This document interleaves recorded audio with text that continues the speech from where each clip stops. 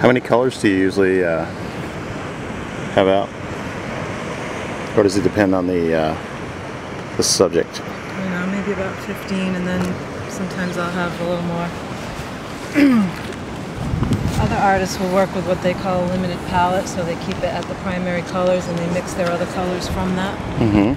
I don't, I didn't, I don't know, I prefer having, I think the colors are more pure from the tube than the mixed ones, and, you know, even, if- even with mixing, um, you know, because there's cool blues, cool greens, cool reds, and warm of each of those different. So if you mix, say a, say you want to make a purple from red and blue, and you mix a warm red with a,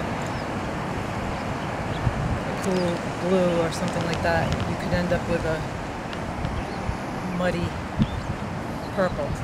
Okay. You know, whereas you know, purple, like I have a dark purple here and a, another type of purple, and these are that's a form of a purple, Mm-hmm. all with varying degrees of blues and reds in them, and they are just more pure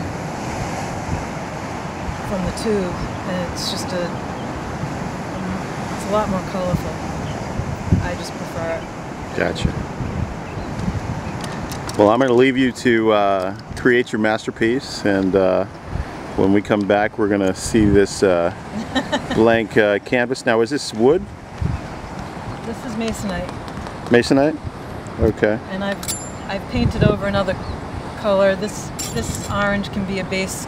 I don't always go with an orange base coat, but sometimes I will for fun. Okay.